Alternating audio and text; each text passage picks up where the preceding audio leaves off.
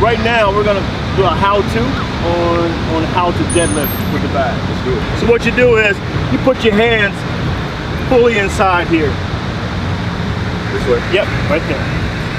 Now you, you probably, you, you do a wide, uh, a wide stance deadlift, or how do you normally do it when you deadlift? A little wider than the hips. Okay. So Why, right why do you do wider than the hip? That's just comfort, really. Okay, okay. Comfort, really. I feel like my hands feel a little more engaged there. Really? I need to start looking at that because my hamstring has been, been lacking. Uh, normally, I set the bag right on top of my feet. Okay. You know, I keep it really close. I set the bag right on top of my feet. So just like in the gym, man, a lot of times you know, see deadlifters, they got these scars. Oh, the shins. Those are Yeah. the shins. Yeah, yeah. So one thing about this bag, it's not gonna scar up your shin. I like that. So uh, reach down, grip, my tibia, I like to keep my tibia uh, perpendicular to the floor, uh, to my ankles, and from there, I just pick it on up.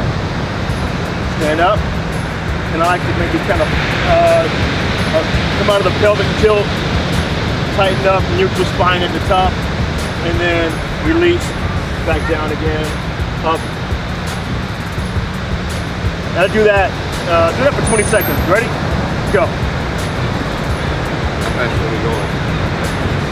Tempo, uh, uh, that's a great question how fast you want to go because tempo is a very big part of it. You can, um, you know, vary it, four seconds up, you know, or one second up. It's based upon how you want to get something different from that exercise. Right. Five, four, So.